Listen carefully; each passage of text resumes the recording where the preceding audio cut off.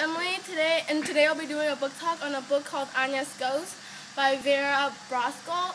The reason why I chose this book is because I really like graphic novels and I don't really prefer reading long books. And before we start, I want to read you one of my favorite quotes from the book.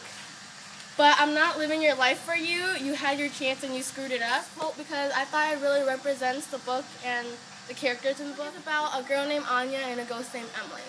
And one day Anya was just walking and then she just suddenly fell in a well.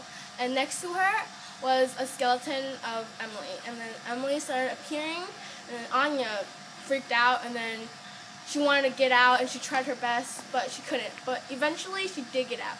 But she didn't get out by herself. Emily followed her. And when in the beginning when Emily follows her, she was just like, No, this ghost has to go. But then Em- but then Emily kinda like helps her with her life, gets it better, makes her happier, but that didn't last for long.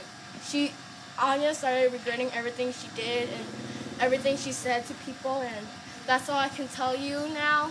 Message, and I think one of the messages of this book is that no one is perfect and live your life the way you want to live it because in the beginning, Anya was insecure about her body, but in the end, she was happy the way she was, and that's all that matters. And the biggest message of this book is that everyone has a chance in life, so live your life to the fullest. I can't tell you why because that would just spoil for anyone. No matter how old you are, it'll always be fun and creepy. You won't want to stop reading it until you get to the end. Um, especially if you're like me and you don't really like reading long books, graphic novels are your answer.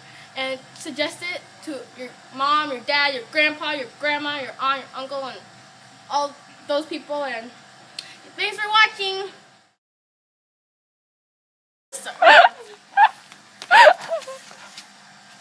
if you're a reader, pump it up.